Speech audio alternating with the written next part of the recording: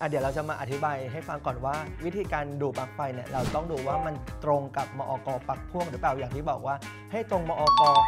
2432ขีด2555 คือเขาจะมีมาตรฐานอ๋อพี่จำเลขได้ด้วยเหรอ เออก็แบบว่าเราเราก็ศึกษาแล้วก็เขาเรียกว่าโอเค แงะมาหลายอันอะไรอย่างเงี้ยได้ป่ะอ่าจนจำได้แงะนี่คือยังไงครับไปแงะจากบ้านคนอื่นมา แงะจากบ้านคนอื่นมาอ๋ออันนี้คือภาพรวมของมาตรฐานของปลั๊กพ่วง แต่จริง ๆ แล้วมันจะมีแยกย่อยไปอีกมอกสายไฟ มอกเต้าเสียบอีกมอกเต้ารับมันจะมีแยกย่อยไปอีก แต่ถ้าเกิดว่าเราไม่ค่อยเอ้ยจำไม่ได้ว่ามันคือมอกอะไร เขาจะถูกคุมโดยมอก2432ขีด2555ปลั๊กพ่วงหนึ่งอันเนี่ยมันจะต้องมีมอกของเจ้าตัวเสียบตัวเสียบตัวรับมอกตัวรับสวิตช์สายไฟเคสแยกย่อยไปอีก อันนี้เขาเหมือนแบบว่ามีมอกโดยที่ถ้าเกิดว่าใครไม่สังเกตเนี่ย ก็คิดว่าเอ้ยก็มันมีมอกนี่ ซึ่งก็อาจจะเป็นมอกอมอกสวิตช์สีแดงสวิตช์สีแดงตัวนี้ หรือไม่ก็มอกกรอบพลาสติกเฉยแต่สายไฟอาจจะแบบๆสายไฟก็คือโบโบเบเบ้อะไรอย่างเงี้ยรุ่นกลางหรือรุ่นราคาสูงขึ้นมาเนี่ยก็จะเป็น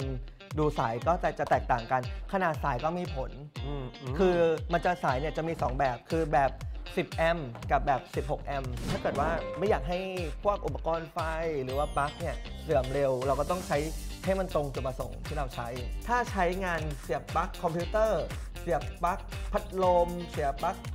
ไอของแบบเครื่องบสิกต้มถือเตาอบใช้แยกประเภทกันนะอ่าเราต้องแยกประเภทกันนะคอมก็คือต้องใช้ปลั๊กไฟที่รองรับ 10 แอมป์อ่าแต่ถ้าเกิดว่าเราใช้พวกหม้อต้ม หม้อทอด หม้อปิ้งย่าง กระทะปิ้งย่างอะไรต่างๆ ต้องใช้ 16 แอมป์ไอตัวนี้เนี่ยมันก็จะมีทั้งมีหลายเกรดเกรดที่มีตัวชิป นิรภัยป้องกันไฟลัดวงจรหรืออะไรต่างๆดูไว้หลายคนอาจจะแค่คิดว่าเป็นแค่แปลงไฟแปลงปลั๊กสามรูเป็นหัว2หัวใช่หรือไม่มันมีจากหัวยุโรปเป็นหัวหัเมืวองเมืองไทไทยยใช่จริง ๆ มันมีจะจะมีชิปนิรภัย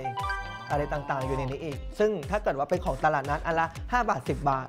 มันอาจจะแบบไม่ได้มีชิปมันแค่เป็นตัวผ่านไฟเฉยๆ ซึ่งเวลาฝนตกฟ้าผ่าหรือว่าไฟกระชากอะไรพวกนี้เนี่ยมันก็สามารถทำให้อุปกรณ์ต่างๆ ที่เสียบพ่วงอยู่เนี่ย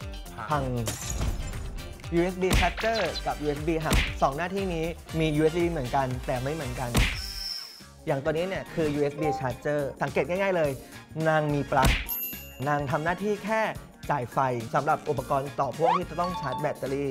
อ่าสมมุติคุณจะชาร์จโทรศัพท์ก็มาเสียบนี่ได้ ใช่ข้ออ่าแต่นางไม่สามารถที่จะแชร์ข้อมูลต่อได้ คือนางไม่ได้ที่จ่ายไฟ อ๋อ ส่วนอันนี้คือ USB hub หน้าที่ของมันคือแชร์ข้อมูล อืมแต่ว่าไม่สามารถกำเนิดไฟเองได้